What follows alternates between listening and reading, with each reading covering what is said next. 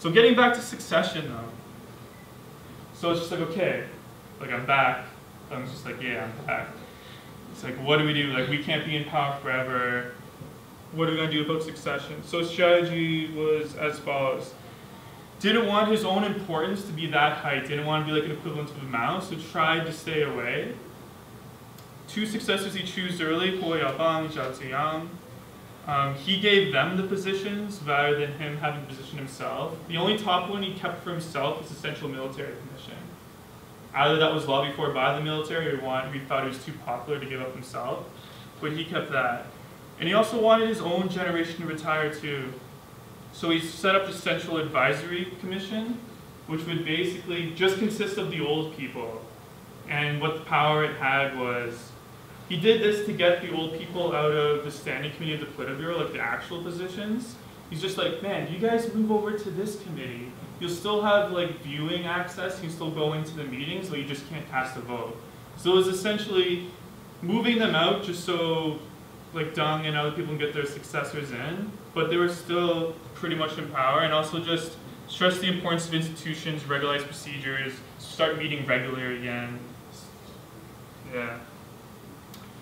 But meanwhile, like Deng and Chen could never really agree. Like the would always expand for a bit and then retrench, and this was really concerning to foreign investors. They didn't really know like what's China doing, man. Like Hu Yaobang was definitely not against that. And um, in 1986, um, this was the first kind of, well, I don't know if it was the first, but it was one time when, like, especially the students were getting upset. And like, this is all from that one video that I showed at the beginning, like this, moving on for a while. All from that one really good video.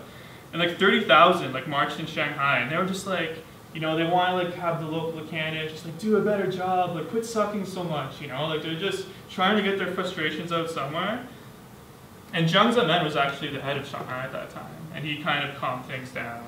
But the students in Beijing, they weren't satisfied. So January 1st, while everyone, everyone else in the country went back to school, the Beijing students did not return. They actually marched to Tiananmen. And then, you know, like the police service was there ready for them kind of like hassling them up getting out. And then Hu Yaobang actually like steps in, you know, got them all bust, was trying to get them not arrested, just like, get out guys, get out, like, what are you doing here? This angered the conservatives and actually forced him out.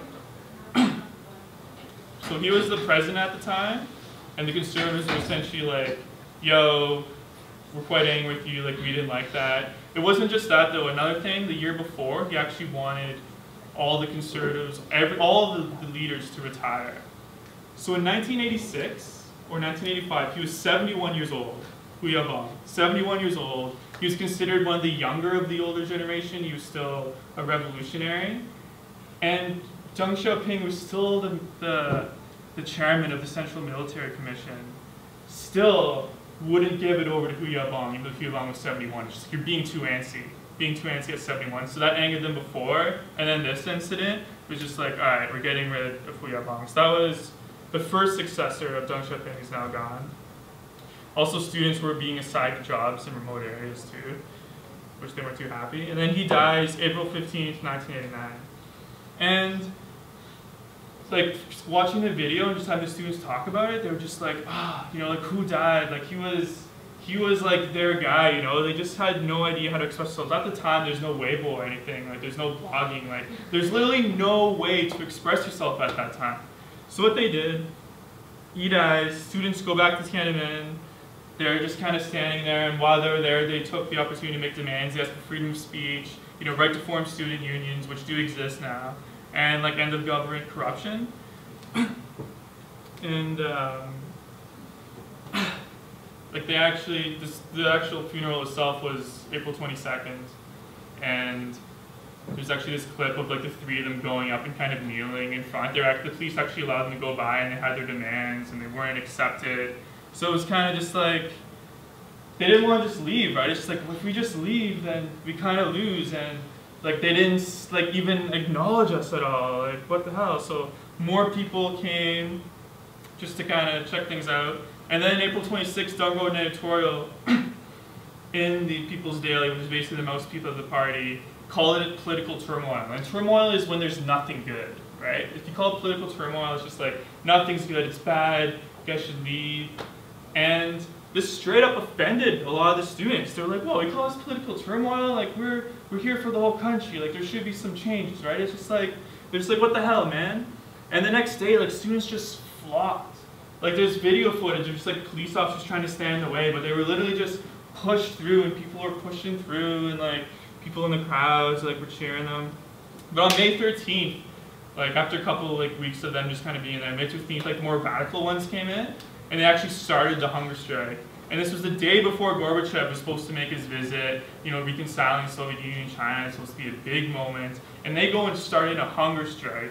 Meanwhile, like all the press is there, the global press is there for Gorbachev's visit. More students started much of the country. They're enthusiastic to get there, but they were very unorganized. They didn't really know what they were doing. It was so spontaneous. Tiananmen came and rolled its own. People were making shirts. You know, there was like music going, there was bands going. It was just like, what's going on here? And eventually more workers, teachers, even people, dailies, reporters joined.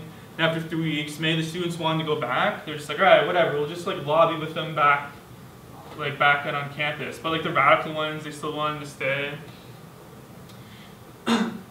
you know, workers eventually started their own unions. And then May 18th, five days after the hunger strike, they actually had a televised meeting. Like this meeting was on television and it was Li Peng, the premier at the time, and like a bunch of other student leaders, and they were talking, and it was just, it was basically just a mess. Like, apparently, like one student, like the students were just so nervous. One student would say this, it's like, no, we need this demand, no, we need this demand. Like, there was really no negotiating with them at that time. And later that day, like Zhao Ziyang comes out, she's like, please guys, just leave, like we get it, you know, like I'm sorry, like he was in tears. And actually Wen Jiabao was there too, which is quite interesting. And then the next day, he's sacked. So that's second of, of uh, Deng's successors. He's sacked. Marshal de Gaulle is declared. Hunger strike ends, and the army's brought in. But they're just like brought by the people. Like the army's just on like trucks, right? They're just like being brought in. But there's just people there blocking the way. And that, that lasts for two weeks. Meanwhile, Jiang Zemin's brought in from Shanghai. He's just straight up like put in like regular person's clothes. you know, he's they brought him up apparently because of the way he dealt with 1986. They're like, oh, this guy's got experience, you know, he's from Shanghai, whatever. They brought him up. And then, yeah, the received orders apparently from this frontline video, take the square by 6 a.m., spill no blood. And then, yeah, that's just a picture of me standing aside of the Great Hall of People. It's not totally in focus, but it's pretty cool. So his succession plan was basically a flop for the following reasons. He lobbied others to give up power while retaining it himself. He was just like, yeah, you know, guys move on to this committee, which he did move on to, but he still very much wanted to be in control. Like he didn't give up the, the CMC chair, even though in the Constitution of 82 it said it must be standing committee member of the Politburo. Well, he was still keeping it. So it became very apparent that by 1989, like it was kind of assumed a bit before, but it was very apparent that country was still ruled by people from like the 40s, like from like the Japanese War. Like the country in 1989 was still being ruled by these people. They were like in their 80s. It was just different time. And like Jiang Zemin, moving back to secession, he was only allowed to bring one person with him, which is Zeng Qinghong. Yeah, he was really helpful with him in the 90s.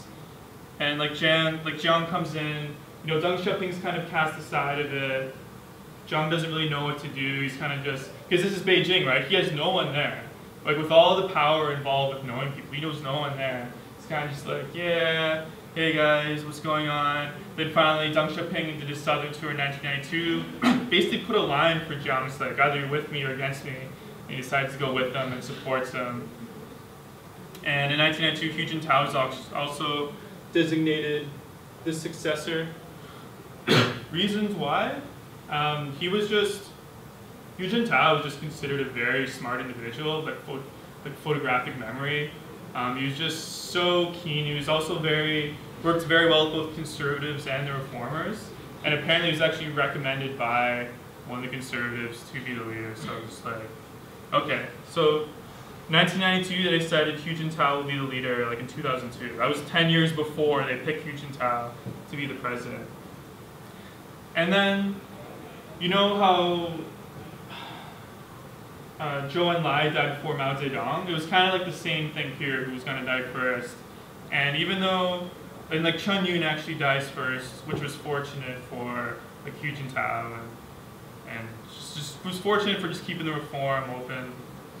Um, Deng was incaps, in, incapacitated in 94, so it was really interesting position for Jiang Zemin because it's under authoritarian rule by the top three guys, but Deng's still alive. So he still has this protection, although he's incapacitated, so Jiang can start doing kind of more what he wants. He can start bringing in his people in. Then Chen Yun dies, and then he charges the Beijing secretary they had him on embezzlement, which is apparently a really small case of embezzlement, but they got him removed anyway. And I don't know if it was that guy, the dude after that was installed, that was one of Jiang's men's guys, but that happened soon. Deng finally dies in 1997, and then they made the retirement more of a 70 to remove like another guy that was one of Jiang's rivals. And okay, from here on out, I'm just gonna just do things off the top of my head because making PowerPoint presentations are really pain in.